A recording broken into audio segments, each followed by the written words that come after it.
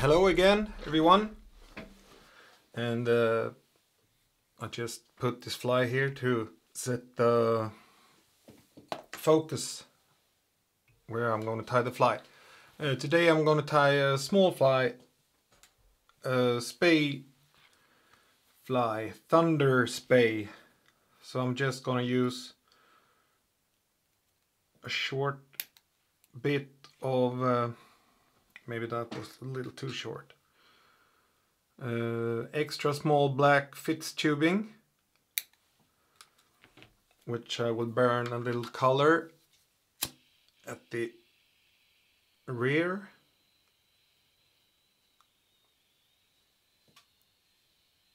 Like that. And we'll wait for it to dry a bit. And and we just put it on the vise. And I'm tying with a black thread 12-0 because it's quite a dark fly. Both dark and bright. And these flies I really love to use in the late season and autumn for sea run brown in our rivers. They work very well and I will start with, since it's blue front hackle, I will use just a little bit of uh, uh, Mikkeli Blue SSS dubbing. I use that on the the little bigger Spey tubes I tie. So just wind it on up against the edge and just a little bit forward. And then we take our little dubbing brush and we dub out a few strands.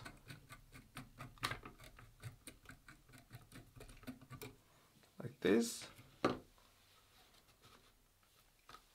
And we're gonna start with a with a ring neck pheasant in burnt orange. You can do these in bright orange too. I think that's most common but I would like my orange a little more discreet than that. So just start with the first turns as close to the dubbing as you can. Pull back the strands.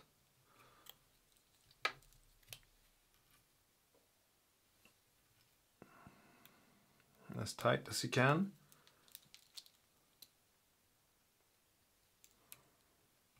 See how it looks. I think I'll make three turns with a burnt orange one.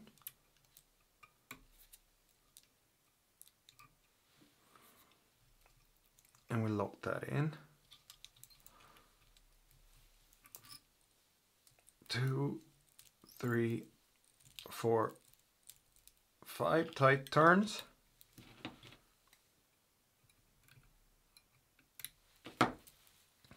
That little lump of dubbing is helping me to get the strands a little bit out because these I mostly fish in in quite slow running waters. And then we take a black ringneck pheasant.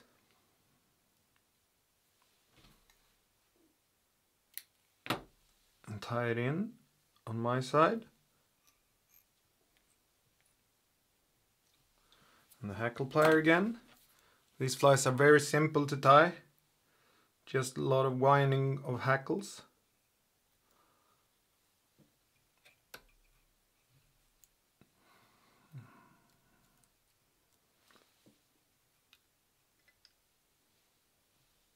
As close to the first hackle as you can.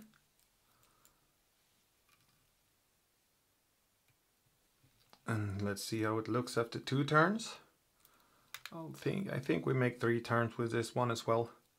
You can make them as sparse or as fat as you want and then vary them a bit this one I can use in the dusk or in the dawn for it gets too dark or before it gets too bright in the day.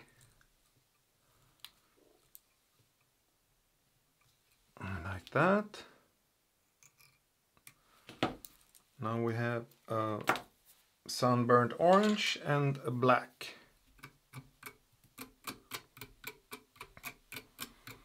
And I like them a little better if I take the longest one first with the orange and a little shorter in the black. And then in the blue soft front hackle a little shorter than the black. Personal preferences. and little triangle again tied in by the tip this is a soft hackle so again lock it in on my side. And hackle plier and I will try to be a little more gentle gentle.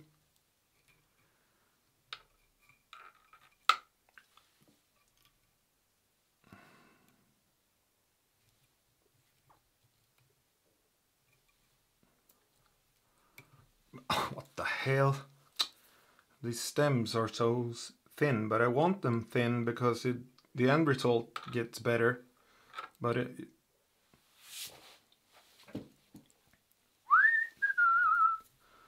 Okay, so I don't have so many choices left. Come on. This stem was shit.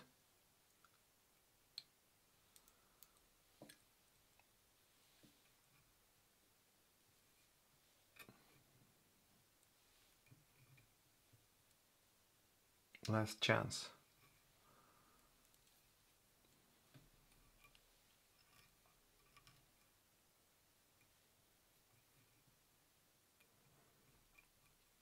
Lock it in. This feather was a little bit fluffier, so I just made two turns with this one. And there it broke again. But I have secured it before. Oh, let's see if this is a fly that I could put on my leader. Yeah, I think so.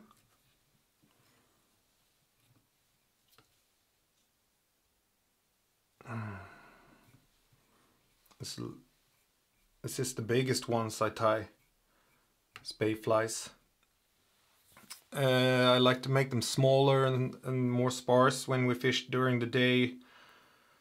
So one turn with each or two turns with each and so on.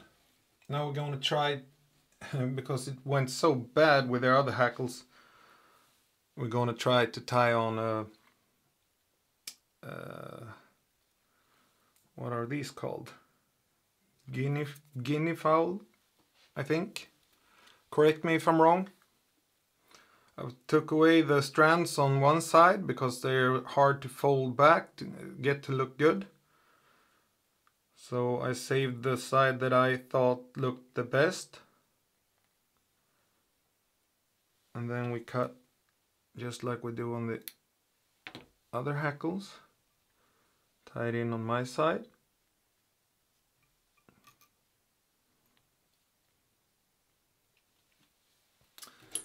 And then the hackle plier again.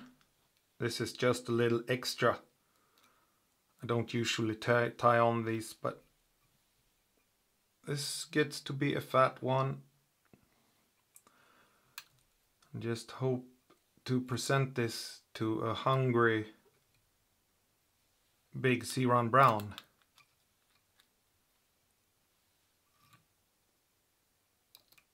Like that take away a few of the strands. And this feather also as close as you can, of course.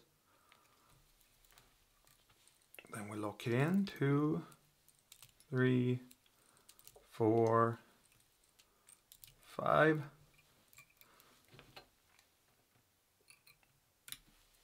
I think it looks quite good.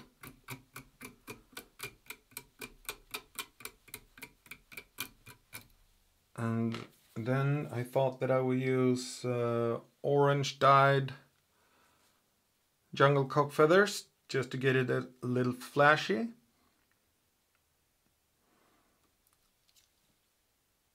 And lock it in with three loose turns. Like that.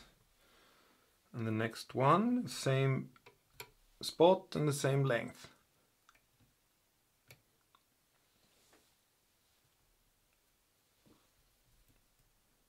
Oh, that was little up like that.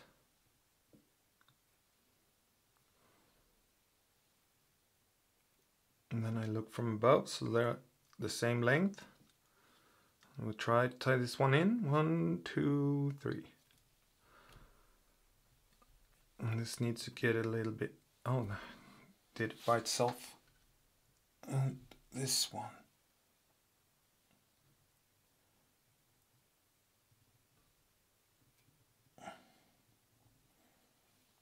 Yeah, I'm okay with that.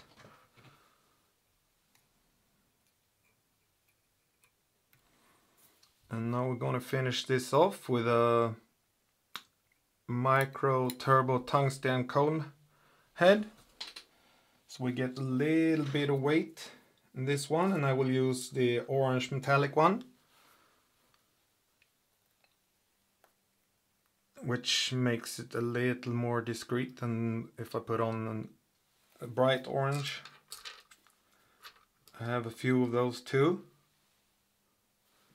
If the water is a little murkier. And now I take a little glue on the thread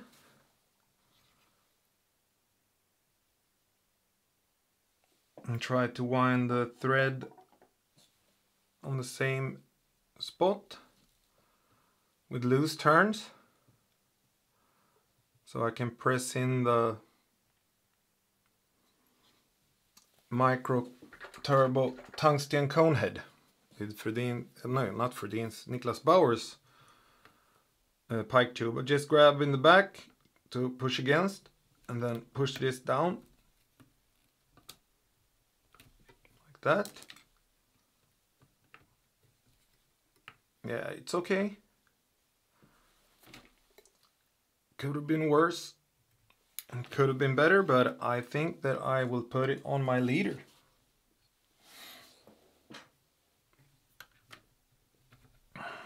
And take it out of the vise. Check so the colors are spread uh, evenly around the body. I think it looks quite good.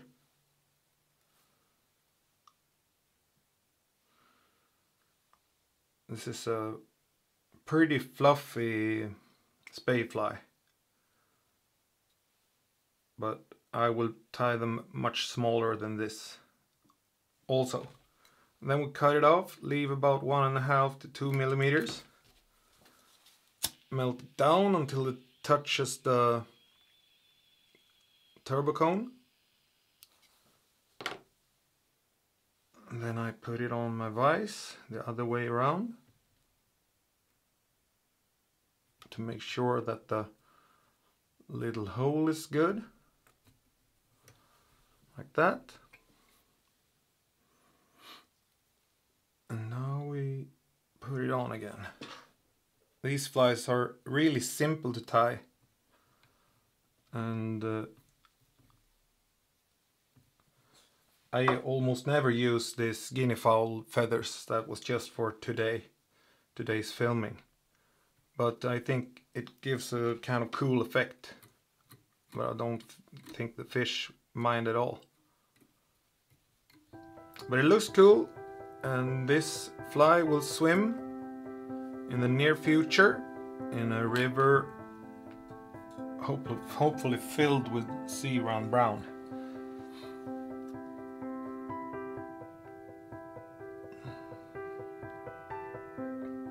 so uh, Thank you very much for watching. I hope you liked it. and uh, I will tie lots of these and uh, if you want to follow my YouTube channel would be very happy. And just click the picture of me here. And if you want to see another film that I've uh, tied a fly just click uh, the little square uh, here. Thank you very much for watching. And I will see you soon again. Bye bye